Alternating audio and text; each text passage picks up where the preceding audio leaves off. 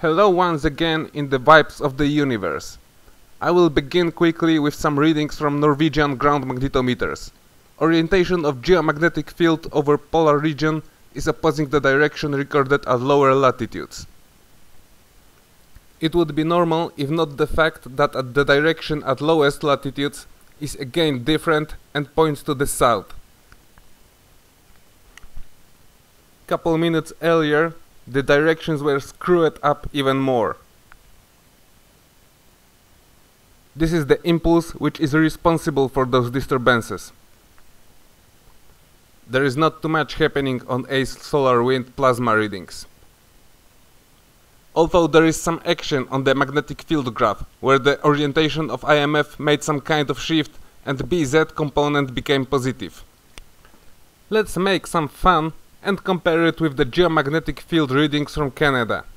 There was a visible and pretty strong disturbance recorded mostly at mid and lower latitudes which started around 5 UTC on 11th of October. Similar disturbance was recorded as well in Europe, but it started around 21st UTC on the previous day and finished around 5 UTC, just when the disturbance was starting in Canada.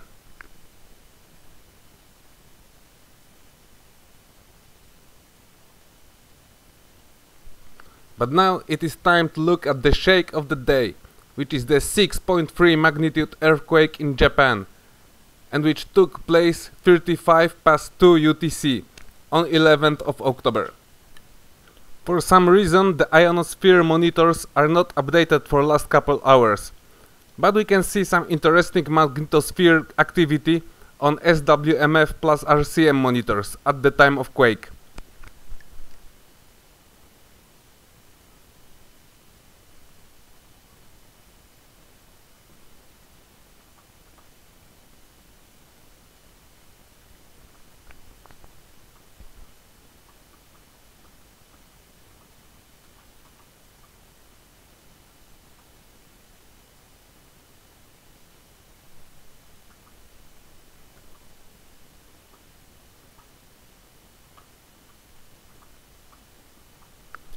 But it is visible much better on the new magnetopause position monitor.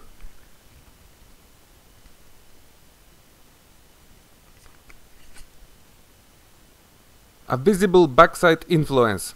Look what happened with the bow shock soon after.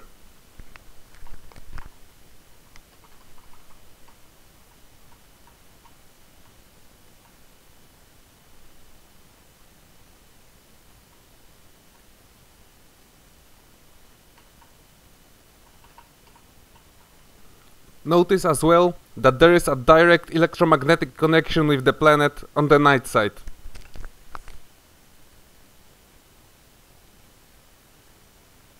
Of course, I have to mention the geomagnetic disturbances, which at the time of quake were recorded by GOES satellites. Couple hours earlier started a proton event caused probably by the last filament eruption followed by Hyder flare, but it wasn't rather connected with the disturbances. Now I would like to show you readings from Kiruna Riometer since the beginning of October.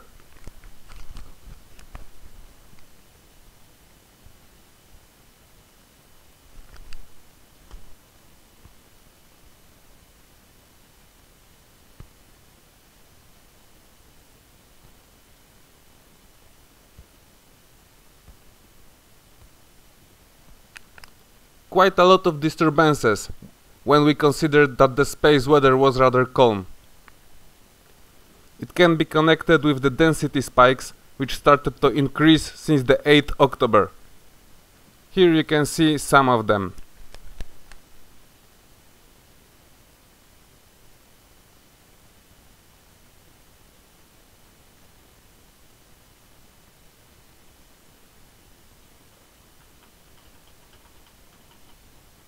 Nice one.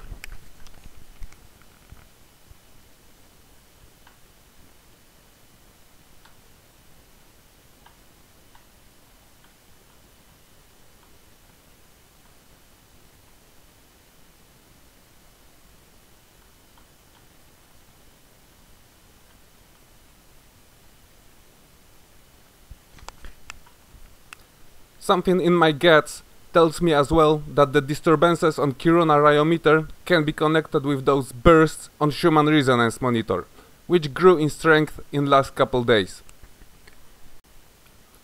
Funny things are taking place right now in the magnetic orientation of heliosphere. According to all possible models, Earth supposed to be placed right now in a sector of IMF with negative current flow.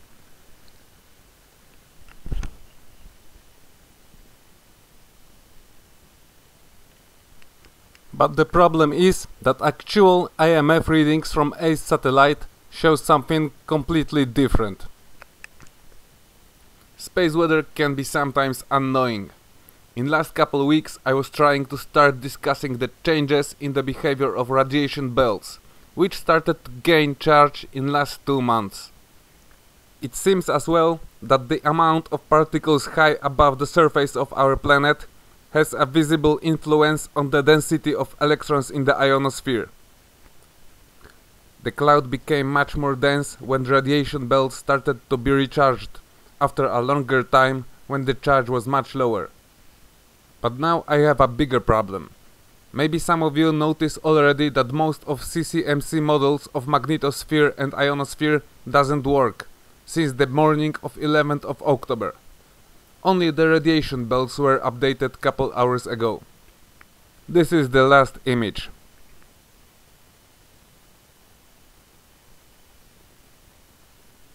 Poof! Particles are gone once again. Just at the high energy bands, so at the lowest ones. Density of ionospheric electrons dropped as well. Coincidence? You can see nicely as the density drops just after midnight October 12.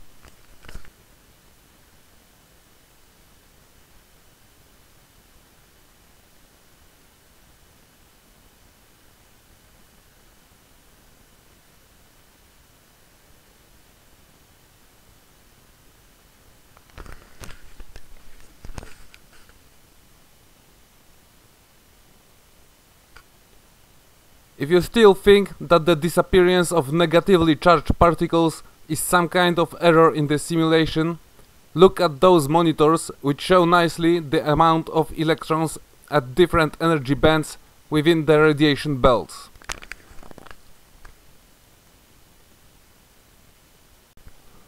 Hmm, it seems that in the night of 12 October there was an impact of a very dense wave of particles which was followed by a serious increase of solar wind velocity. Coronal hole stream.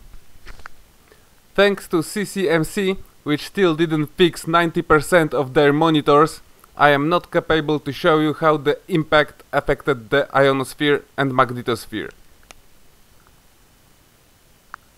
After a couple days, when the geomagnetic field was relatively calm, two quite strong jolts appeared on Norwegian magnetometers. One is taking place right at the time when I'm recording this movie. In the upper right corner you can see the scale to compare the strength. I've managed again to capture the latest jolt on the magnetic field vectors monitor. Notice that the directions of geomagnetic field differs even for the station at the same geographic latitude. In the difference to most of those geomagnetic jolts those two were recorded at the same time in different parts of the globe. When you look at the right part of this monitor, you will see that just as in Europe, last jolt affected the field in opposite directions. Most possible cause of the latest jolt can be seen on the ACE readings, where the orientation of IMF made another sudden flip, what was followed by a drop of solar wind density. It seems that the second geomagnetic jolt caused even more disturbances than the first one. In Kiruna the strength of field dropped by 400 nanoteslas and the K-index grew to 6. POES satellites recorded that the auroral power grew to 78 gigawatts during this event.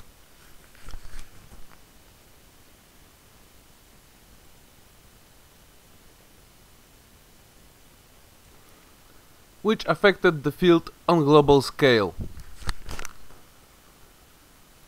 And this is what happened during this time. BZ magnetic component of the IMF jumped suddenly from minus 7 to 7 nanoteslas, around 17 UTC.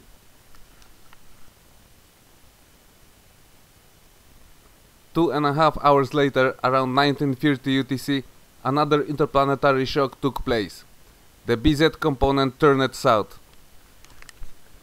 But look here, POES satellites recorded that the auroral power grew to 97 gigawatts at 18 past 18 UTC, when the BZ was positive. This is a clear reverse response for the IMF orientation.